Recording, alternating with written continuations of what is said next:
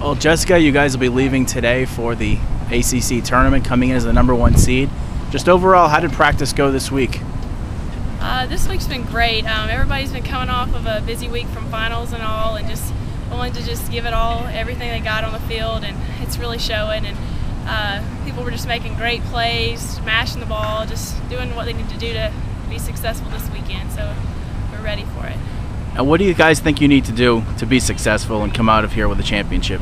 Uh, we need to continue to have our strong defense that we've had throughout the year, and you know we've had some big sticks that's shown up all throughout the year, and just keeping it consistent. Um, you know we don't need the home run balls because we've got a little bit of speed and power, and we just need to put the ball in, in the gap. So if we do that, I think we'll do great this weekend. Well, you guys will be playing Virginia in the first round, a team you just beat three times a couple weeks ago.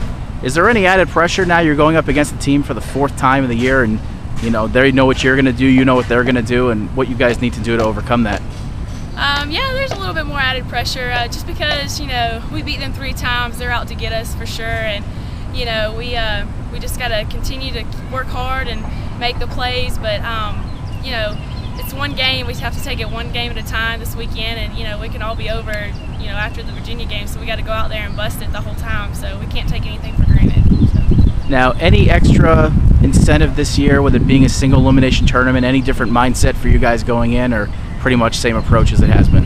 Um, I still feel like it's the same approach as it has been. Um, you know, just we just want to have a good showing this year, so that's that's basically it. I mean, it's uh, everything's main, mainly the same. We our, our goal is an ACC ring, and we know that we can do that this weekend. Well, thank you very much. Good luck. Thanks.